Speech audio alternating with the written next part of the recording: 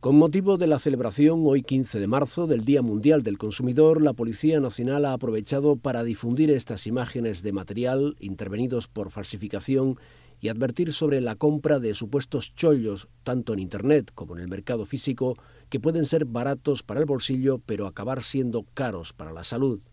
Durante el año 2011, la policía detuvo a 447 personas en toda España relacionadas con la falsificación de todo tipo de productos, desde medicamentos y preservativos a juguetes, perfumes, bolsos, películas y discos y hasta rodamientos industriales utilizados en autobuses o aviones. También intervino más de 1,5 millones de dosis de sustancias anabolizantes, hormonas del crecimiento y medicamentos ilegales productos elaborados sin ningún tipo de control de calidad y sin cumplir los requisitos sanitarios establecidos y cuyo consumo puede provocar graves daños para la salud.